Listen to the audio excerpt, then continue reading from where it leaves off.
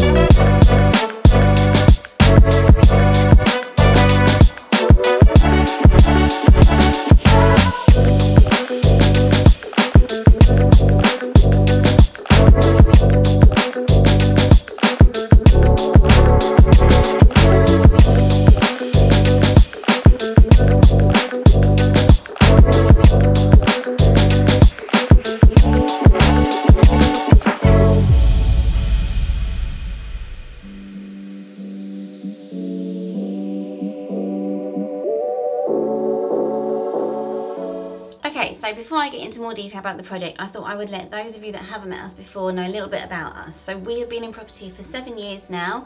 Um, in that time, we've done 16 projects, most of which are HMOs. Um, and we've done a like variety of deals. Our biggest HMO was an eight bed um, property, which we obviously had to go to planning for.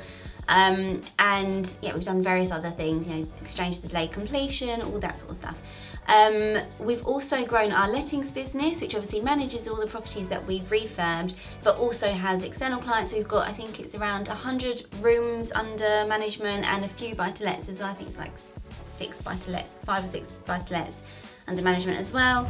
Okay, sorry, we had to stop filming there abruptly. Um, so we're back on a different day and now I've got a plan. How do we find the deal? So nothing really clever. It was on with an estate agent. We'd actually gone to see another property with this estate agent and they suggested going to see this one. Uh, the vendor was the person that did the viewings. Obviously, normally it's the estate agent, uh, but having the viewing with the with the vendor meant that we got to find out a bit about him, why he was selling, his sort of story, all that sort of stuff. And it turns out we got along with him very well, and we're actually both very similar in our thinking and what we're trying to achieve. And yeah, we worked out that there was an opportunity here to structure the deal creatively, whereby we have exchanged on the property. We are then doing the building works and then completing on the purchase after building works are done. Therefore, the the property is then the, the, I suppose the business is then up and running has got a proven track record to then be able to purchase it much easier because the banks can then see that yes it's a working property um, and it also means that in the interim we've saved on all of the finance costs that would otherwise be needed during this time where the property is not making money through the build.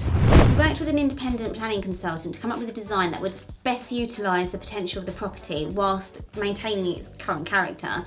Uh, given that it's in a conservation area, we also had to work with a heritage officer to make sure that the new design didn't jar with the existing aesthetic. So we ended up with a design whereby we added an extra floor into the attic and essentially we've ended up with three six bedroom HMOs, one on each floor and a one bedroom flat on the ground floor. But it's a little bit more bleh, but it's a little bit more complicated than that so I will show you it in more detail over the plans. Okay, so on screen at the moment is the existing ground floor plan and the existing first floor plan. So as you can see, this is the main entrance. It had the guest dining here and the guest kitchen, and then guest rooms across here. And pretty much all of this side is the owner's quarters, although this bedroom was actually used as a guest bedroom. And then coming upstairs, you've got the rest of the bedrooms. So here, here, here, all across along like this. And the plant room or linen room as they call it, um, which has got the washing machines and all of the boilers and water tanks and whatnot. Okay, so now on screen we've got the existing ground floor and the proposed ground floor. So as you can see, we have HMO1, which is made up of this area here. And we've got the one bedroom flat, which is made up of this area here. So I'll talk you through the one bedroom flat first. So this is mainly the owner's quarters are here. So we are taking out the chimney stack and moving this this wall further this way to create a bigger living kitchen space and a smaller bedroom um, here is actually a bit bigger than what is on here because we've shifted it a little bit. I think nine and a half square meters is a little bit small for a bedroom, so we've moved that wall a little bit. Um, and then here we've got the bathroom and here we're going to have a utility space as well. So then HMO1 is made up of the existing bedrooms, which is here, so bedroom one, two, three, four here, and then the dining space creates a further two bedrooms, so here and here. Now the communal kitchen turns into the ensuite for this bedroom, the off-suite for this bedroom, and the corridor for this bedroom to get through to the to the HMO because its door originally is here, but we are closing this off, and so HMO one will be accessed from here. So that's six bedrooms on this floor for the HMO, and then the old owner's kitchen and sort of lounge area turns into the communal space for HMO1. So it's the kitchen, the dining space, and lounge space.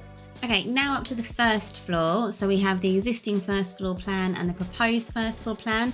So the first floor is made up of one six bed HMO, which is HMO2, and part of HMO3, but HMO3 goes up to the top floor, so it's only two rooms for HMO3. So I'll start with HMO2. So you come up the stairs um, from the main entrance, and here will be a front door for HMO2. So it'll only be able to be accessed from for those tenants that live in HMO2, and it's made up of one, two, three, four, five, six bedrooms. And then this was a bedroom and this was a bedroom, but we're turning that into the kitchen and lounge area for uh, this particular HMO. So it doesn't show it on this plan, but this um, chimney stack is coming out, as I said, downstairs as well. Um, and then the kitchen, again, some of these bits on the plans are slightly different only because when we walked through with the builder, something sort of came to light that we had to kind of amend. So this entrance will go in through here and not this door here. So it's kind of two rooms, but linked two rooms. And again, the laundry room is then out here in the hallway. So we can get rid of all the laundry and whatnot over here. So yeah, as you can see in HMO2, we're not actually doing an awful lot in terms of structural work, apart from taking out this chimney and moving this door. But essentially, the bedrooms stay as they are. We're not changing any layouts or taking walls up or down or anything like that. Uh, only in this. So we're hoping that HMO2 will be up and running fairly quickly.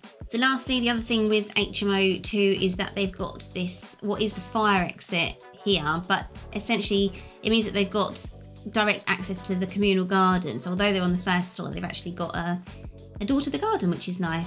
Okay, and finally, HMO 3. So HMO 3 we're not actually building at the moment because, well, mainly because of material prices and also trying to get this project over the line in the deadline, you know, by the deadline. Um, actually, we've sort of scaled the build back. So we will do this, this bit in the future, maybe in the next couple of years or so. But essentially, these two rooms at the front will become part of HMO 3. So I'll just put HMO 3's um, upstairs plans on just now. Right, so on screen now I've got the proposed first floor plan and the proposed second floor plan, just so I can show you what makes up HMO 3 because it's across two floors. So as I said, um, these two rooms become part of HMO 3 and you would walk up the stairs, turn left and this is the front door to HMO 3. Um, again, slight amendment to the plan. This is actually a going to be a bedroom and this is going to be the kitchen. So excuse that for not being quite correct there. But essentially we have one bedroom on this level the communal kitchen and then you would go upstairs that go above the existing stairs up into the attic and we come into this lovely space here. So up here there's a further five bedrooms. So we've got one, two, three, four and five bedrooms. We've got, um, they've all got their own, own en suites but these two have got their sort of off suites if you like. We have a laundry room for them. So again, we're getting rid of the the laundry appliances, washing machines, tumble dryers up here. And we have a lovely, great big living room here as well, and a roof terrace. So they have their own outdoor space. They're obviously more than welcome to go and use the communal garden, but bearing in mind they're on the top floor, is also nice to have a bit of open space on the same living level. But yeah, essentially that's the plans. I know it's probably a bit difficult to follow over a screen, but if anyone's got any questions, I'm more than happy to answer. Just pop them in the comments below. Picking our builders for this project. So we're very lucky having done 16 projects. We've got two really great sets of builders. And it was a close call between the two of them but we picked the ones that we did for a couple of reasons. One, so our slightly smaller team we actually used for our own house and they did a great job and they would have done a great job with Villa Verde there as well. However, because we have two sets, we would like to work with both of them and we can't give all the work to one team and not the other because obviously you need to keep the relationship going. Uh, so that was one consideration. The other consideration is the team that we went with is a slightly bigger team and we just know, you know, what with COVID and all that sort of stuff, that things can wipe out a team like COVID. Um, and a bigger team where they've got lots of trades that are not necessarily coming into contact with each other because they're working on different sites and things meant that if one person comes down with something then it doesn't necessarily spread to everyone else and someone else can kind of fill in the gaps of someone being off. And bearing in mind we're working towards a deadline with this uh, to be able to complete the purchase not only complete the build uh, that was quite a big consideration for us which you know to sort of mitigate any risk of kind of overstretching or over um, going over that kind of deadline. So yeah, they both have been great, but we've gone with the company, the building team that we have, and they've been great. And yeah, we're very, very happy to be working with them on this project. So that concludes this video. I hope you found it interesting. Make sure to like and subscribe, and thank you very much for watching, and we will see you in the next one. Wow.